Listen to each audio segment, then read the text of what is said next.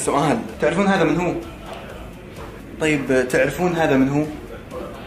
طيب تعرفون هذا من هو؟ هذول الثلاثة هم اللي أسسوا كريم عبد الله أهلين كيف حالك؟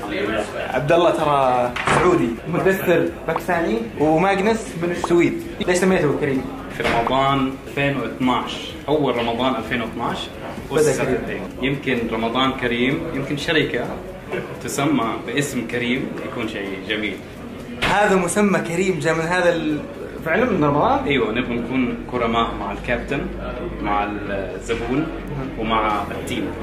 أهم شيء إنكم تبدأوا تحطوا أول خطوة وتبنوا الشركة على قيم واضحة. الحين التطبيقات فيها فلوس؟ yes فيها فلوس بشكل كبير جدا على مستوى العالم وحتى على مستوى السعودية. جايك دراهم بالملايين خليك دقيقة اسمع. حجم المبالغ اللي يدخلونها من السوق السعودي يعني السوق السعودي هو رقم واحد في العالم العربي. آه كريم قيمة السوقية لا أتوقع تتجاوز 3 مليار. I think the, the advice is uh, find uh, a problem that you're facing and then try to solve uh, that problem.